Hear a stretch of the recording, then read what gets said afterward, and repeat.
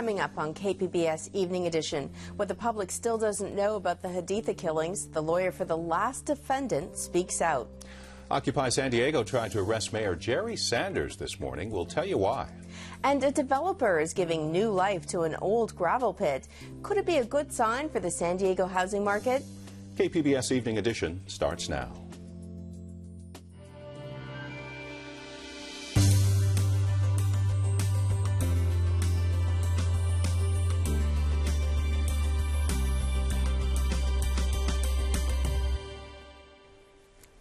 Hello, thanks for joining us. I'm Joanne Faryon. And I'm Dwayne Brown. Pension reform and labor deals will officially go before San Diego voters in June.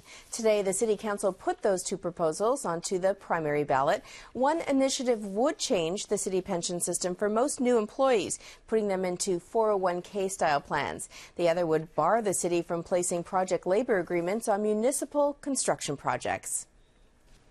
I'm here to make a citizen's arrest of Jerry Sanders. Members of Occupy San Diego tried a new tack today with an attempt to put Mayor Jerry Sanders under citizen's arrest. About 20 people showed up at the mayor's office this morning with crime scene tape. They say the crime was last month's temporary renaming of Qualcomm Stadium to Snapdragon Stadium. Snapdragon is a Qualcomm brand, and the company paid the city $1,000 to cover the costs of the change. The protesters say it was a sweetheart deal and accuse the mayor of embezzlement. Mayor Sanders was not at his office this morning. The protesters say they're ready to go to the district attorney and even to the state attorney general. The killing of five people in Tijuana over the weekend has disrupted a long period of calm in the city. Fronteras reporter Adrian Florido is in the KPBS News Center. He's been following this story. Adrian, what did these killings look like, and how do police know this was drug related? Well, the details were all too familiar. Gunmen pulled up to a family's home in a central Tijuana neighborhood, uh, stormed in, uh, forced four men and a 13-year-old boy into the kitchen, and executed them. Uh, shortly afterward, federal uh, investigating, sorry, uh, state investigating authorities uh, realized that one of the victims was the brother of a municipal police officer who was recently arrested for having ties to the Sinaloa drug cartel, and so they determined that it was most likely a drug-related crime. Hmm. Now, Tijuana has actually seen a decrease in drug related killings over the last couple of years. Do you think this is a sign things are getting bad again? Well, you know, it's hard to tell kind of within the context of this isolated calm because it is at this point sort of one incident. Uh, but I did ask that question to a veteran Tijuana journalist this afternoon, and he said that, you know, while, um, yes, there has been a, a, an incredible sort of improvement in the situation in, in Tijuana, uh, drug related murders down about 40% over the last year, this is obviously a sign that um, you know, sort of drug trafficking and all this illicit activity associated with drugs uh, is still alive and well, and that the situation isn't under control by any means. Uh, so, you know, we'll have to wait and see whether um, this sort of is an individual flare-up or whether it becomes more of a, of a trend. All right. Adrian Florido, our Fronteras reporter. The California Supreme Court has reinstated a second degree murder conviction for the killing of a well known San Diego surfer. Today's decision overturns an appeals court ruling that reduced the conviction of Seth Cravens to voluntary manslaughter. Cravens was convicted of killing Emery Kauanui by punching him in the head during a confrontation in La Jolla five years ago. The lower court had said there wasn't enough proof of malice, but the Supreme Court justices say the force of the punch was sufficient proof. The Commandant of the Marine Corps says the Pentagon's plan to reduce its numbers won't disrupt the Corps' effectiveness. General James Amos says the Marine Corps has been working since 2010 to reshape itself into a smaller but more capable force. You may recall last week the Pentagon announced plans to reduce the Corps by 20,000 Marines over five years. It's part of a larger effort to cut the defense budget. The largest and longest running criminal case against U.S. Marines ended last week at Camp Pendleton. Staff Sergeant Frank Wuterich pleaded guilty to dereliction of duty in the deaths of 24 Iraqi civilians. Joanne speaks with his lawyer at the roundtable about some facts that never made it to trial.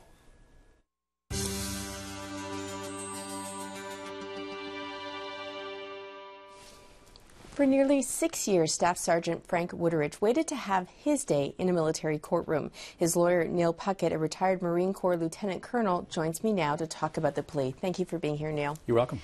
So, take us back about a week or so that weekend before your client did plead guilty. What, what did you ask him to consider? We got an offer from the prosecutors uh, that, in exchange for his plea of guilty to negligent dereliction of duty, that uh, we could basically resolve the case in one day and he would not receive any jail time. And so we asked him whether or not he wanted to do that. Of course, by that part, by that time, we were well into the case, in fact, almost finished with the case, and uh, felt like we could win the case, felt like we could get an acquittal. But it was his desire to, uh, to plead guilty primarily to, well, solely to take responsibility for everything that happened that day, to take responsibility for his Marines, his own tactical decisions, because he felt that he was in some measure morally responsible for um, things going bad that day. Now, this wasn't the first time this particular charge came up through this entire six year process, was it? There, there were other times where you offered to your client would, in fact, plead guilty to this. What did the prosecution say? Well, th and th this wasn't the first time he'd heard this because a couple of years ago we actually drew up some paperwork uh, and, and, offered to plead guilty to, to a very similar level of offense. Uh, in exchange for light punishment, and the prosecution uh, turned it down.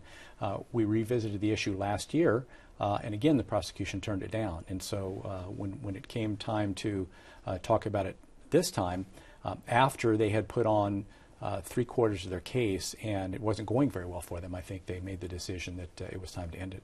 Now, you've seen the coverage, obviously, obviously, your client has, in terms of people responding that this, in fact, was not justice, that 24 Iraqi civilians died. Uh, I know there is some controversy over whether there was a man in a wheelchair or not a man in a wheelchair who was also killed. There were women, there were children. How do you respond to that, that in fact this was not justice, that still you had 24 people who died and nobody went to prison? Well, first of all, there are 10,000 pages at least of, of investigation, and nowhere in there do the words wheelchair appear, so I don't know where anyone got the idea of wheelchair. Uh, however, uh, remember that uh, there were uh, several Marines who fired their weapons that day. Uh, in addition to uh, Staff Sergeant Frank. Uh, those Marines were all had all, had their charges dismissed through prosecutorial decisions. Um, it's our feeling that perhaps well, you, first of all, you can't look at the entire case by one court-martial result, by that of Staff Sergeant Frank Wuterich. If you look at that and you say, well, 24 people died that day, um, and and here's look at the light punishment, he's not even going to jail. You, what you have to consider is why didn't the government, through its prosecutors, prosecute every Marine who fired their weapon that day? Uh, it's our belief that had every Marine gone to trial, we don't know what the outcome would have been. Maybe some would have been acquitted, maybe some would have been convicted, but through the um, crucible, if you will, of a court martial, of a courtroom, a lot of times facts come out and, and uh, juries discover what happened and what didn't happen, and that's very valuable information. And it's possible, uh, we, can't, we can't redo history, but it's possible that um, if some Marines had gone to trial, and if some Marines had been convicted, and if some Marines had been punished, perhaps the Iraqi people might feel differently about the outcome of this case because it's not just the Wuterich case. So, what is it in those 10,000 pages of testimony that, that perhaps you know and your client knows that has not been revealed in a courtroom?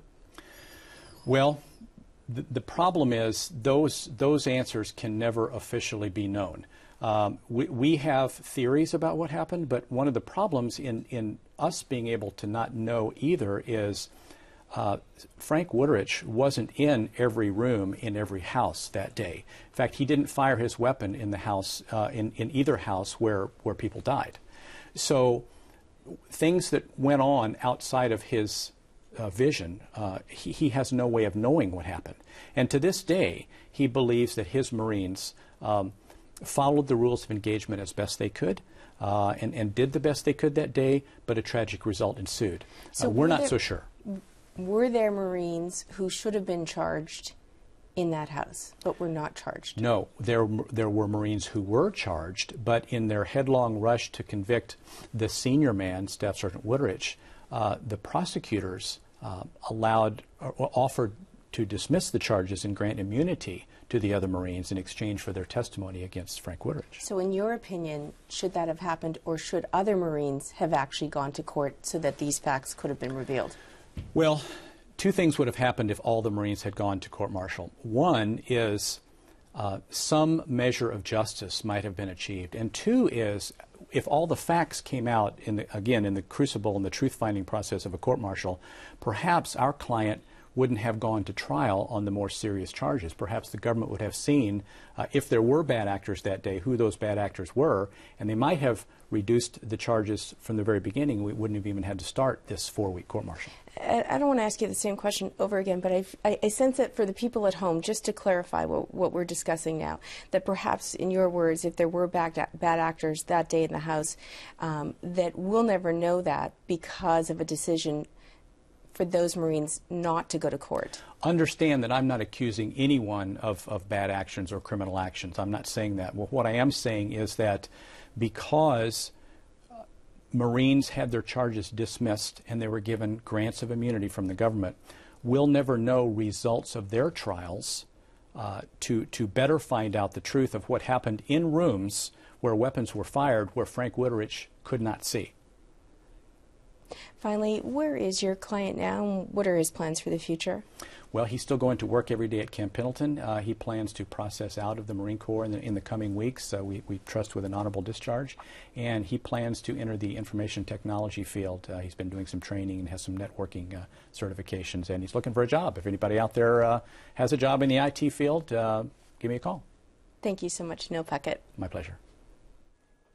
Just six years ago, more than 10,000 building permits were taken out in San Diego County. The number fell when the housing bubble burst. But now, construction is starting to make a comeback. Is the housing industry ready for takeoff again? The story from our Biz Tech desk in just a moment. This is KPBS Evening Edition.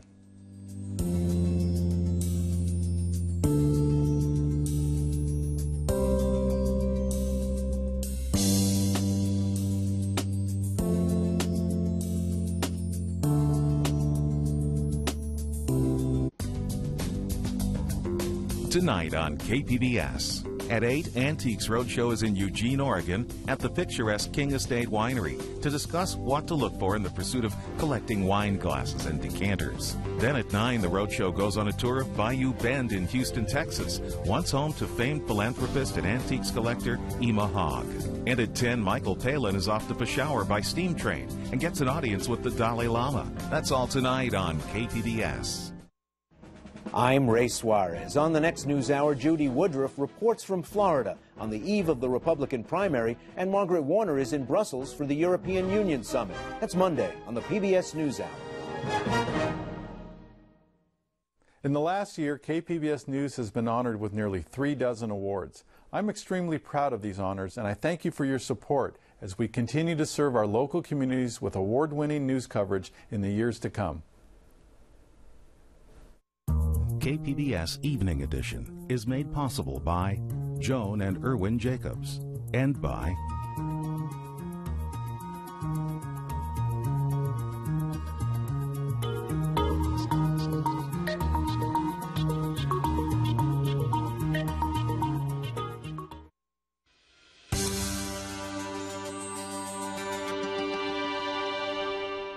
A new housing development in Mission Valley could be a sign San Diego's home construction industry is coming back to life. KPBS business reporter Eric Anderson says the project is transforming an old gravel pit into condos, rental units, and commercial space. CJ Reynolds has shown new homes for years. This is our uh, Residence 1X. It is a four story home. It features three bedrooms, three and a half baths, and it's 1,760 square feet. The Shea Home saleswoman walks through a new model home that's full of designer touches. The price tags begin in the low 400,000s to close to half a million dollars. Uh, many of our home shoppers love this optional brick wall and col columns. It reminds them of a very modern urban feel to it. Her practiced presentation hasn't been used much recently. That's because the financial collapse crushed the new home industry in San Diego County. The resulting wave of foreclosures flooded the market with cheap competition. But that may be changing. Sudbury Properties is turning the old Grant gravel quarry on the north edge of San Diego's Friars Road into a 230 acre planned community. Marco Sessa is a Sudbury vice president.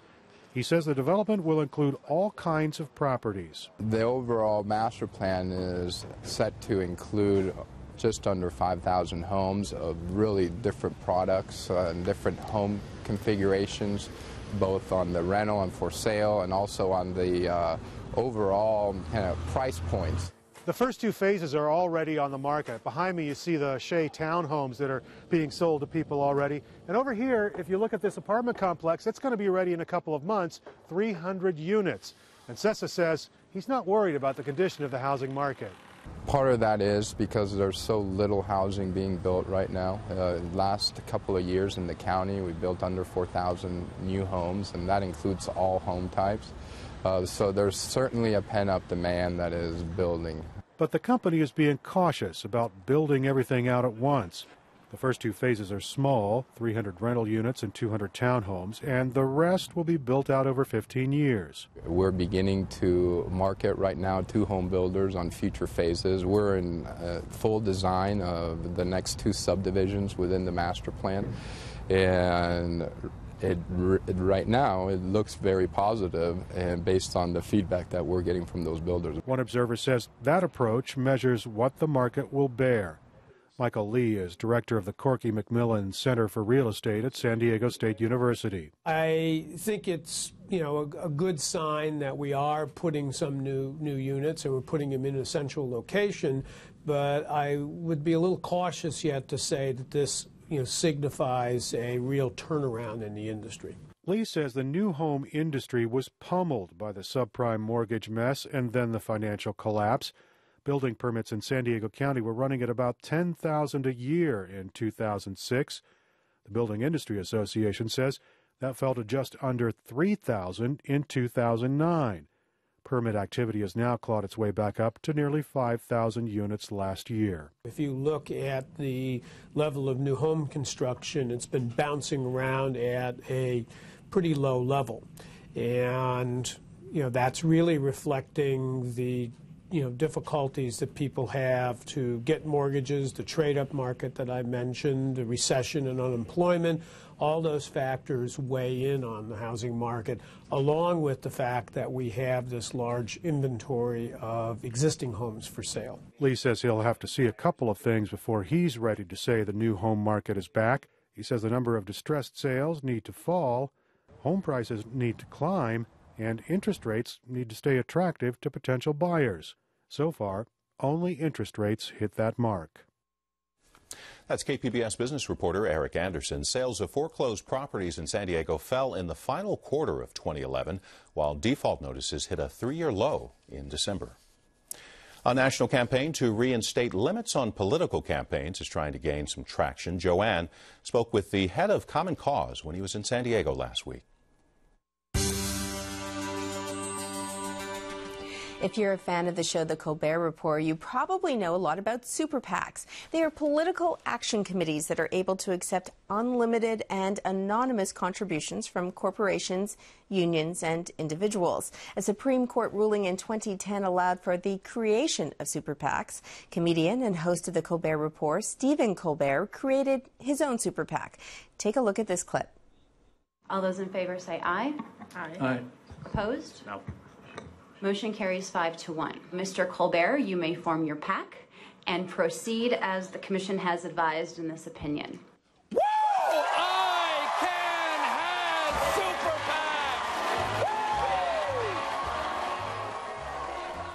Joining me now to talk about a national movement against super PACs is Bob Edgar, president of Common Cause. Thanks for being here, Bob. It's great to be with you. Let's begin with before the Supreme Court decision. What were the rules? Well, the day before, the Supreme Court came down with a very narrow decision, five to four, giving corporations and labor unions the ability to form not only super PACs, but use corporate treasuries for the first time in expenditures.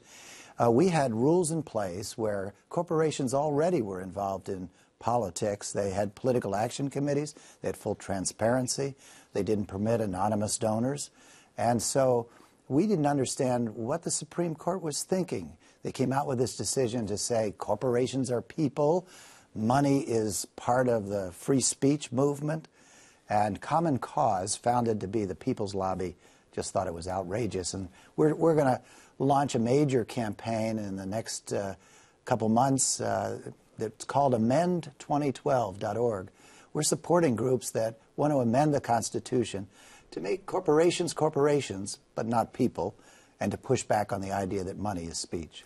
Now, there were also limits, right, when we had just PACs, not super PACs, in terms of how much could be contributed to these action committees. What were the limits back then? Well, back in those days, the limit was about $1,000. It had been raised to $2,400. Uh, that didn't really change. What changed, those, some of those limits are still in place. What changed is that they gave corporations and labor unions the ability to set up these super PACs, take unlimited money. We saw in this current uh, Republican primary where both Romney and Gingrich received millions of dollars from friends, not associated with the actual campaign, but they were able to put television commercials up in places like South uh, Carolina and, and Florida, trashing each other as well as praising their candidates. And while technically they're not supposed to communicate with each other, Romney's PAC is set up by some of his best friends and Gingrich's PAC. This election year, this presidential election year, is going to be the most moneyed political year in the history of the United States. And the good news about the bad news of how much money is going to be spent, which will corrode our system, is that I think average voters are going to just be outraged. And we want to push back. We want to get corporations voluntarily not to engage in the kind of political expenditures that is now permitted under uh, Citizens United. Well, a big part of the problem is the lack of transparency. I know there's been some talk. Here in California, we have rules in terms of political action committees and, and people who donate, and you have to know who they are. But with super PACs, you don't. Isn't that sort of the second part of the really big problem? We don't know who is behind exactly. all of this. Exactly. They don't have the same kind of rules and transparency. We're working state by state. Here in California, we're working at the state legislative level to put in place uh, rules about transparency. We almost got a national bill passed, but it got blocked in the United States Senate. It only got 59 votes. Now, one would think if there are only 100 senators, if you got 59 votes, wasn't that a majority? And the answer was yes but a small conservative group of senators blocked it with a filibuster.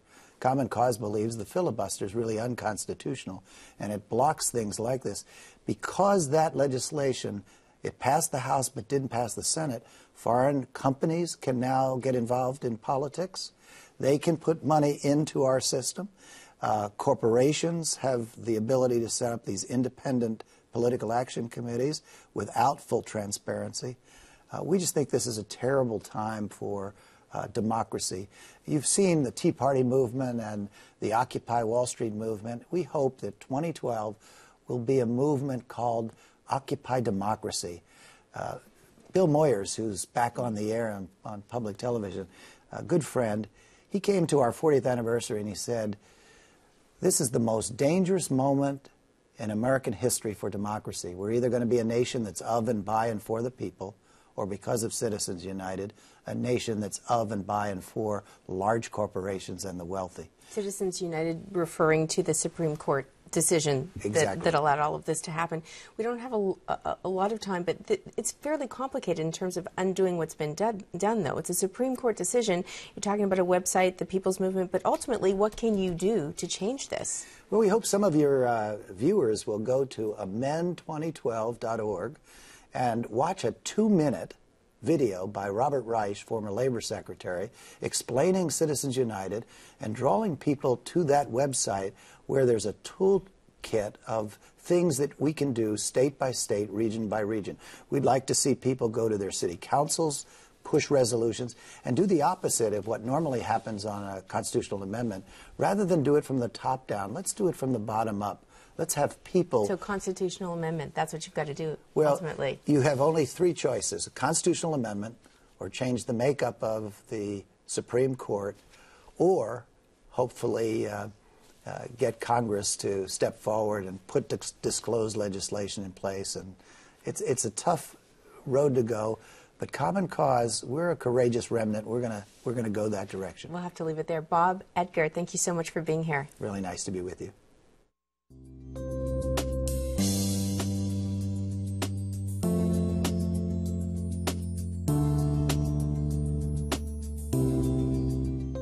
Next time on Frontline. You could run a dead man for coroner and he'd get elected. After the crime. They find what the police want them to find. After the mistakes. Story after story about incompetence. The truth is in the coroner's hands. You call a death an accident or miss a homicide, a murderer goes free. Frontline, ProPublica, and NPR investigate. The truth did go to the grave. Post mortem. Tuesday at 10 on KPBS.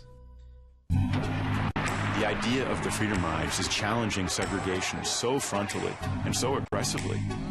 We were past fear. If one person falls, others take their place. I asked God to be with me, to give me the strength I would need to remain nonviolent. We knew that we had taken a stand and that it was going to be better. Freedom Riders, an American experience film. February 6th, beginning at 8 on KPBS.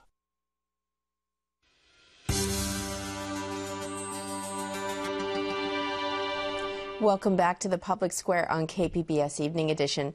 Earlier, Eric Anderson reported on a new housing development that could just be a sign of the new housing market getting back on its feet. We want to know if you're seeing positive signs in the housing market. Is now the time to make a move, or are you sitting tight where you are? Write to me, jfaryon at kpbs.org, or send me a tweet. You can follow the show, KPBS Evening, or like us on Facebook. And now let's go back to the news desk where Dwayne has a recap of tonight's top stories. Some members of Occupy San Diego accused Mayor Jerry Sanders of breaking the law last month. That's when he approved a temporary name change for Qualcomm Stadium. Occupy members showed up at his office this morning to try to make a citizen's arrest, but the mayor was out of the office. Tijuana police are investigating the first high profile flare up of violence there in several months. Four men and a teenage boy were killed on Saturday night. Authorities say one victim was the brother of a former Tijuana police officer recently arrested for having ties to the Sinaloa drug cartel. And the head of the Marine Corps says his department was already looking at slimming down, even before the Pentagon announced plans for budget cuts. The proposal would reduce the Corps by 20,000 Marines over five years. You can watch and comment on any of the stories you saw tonight on our website, kpbs.org slash evening edition. Thanks for joining us. You have a great night. We leave you with a look at a cooler forecast.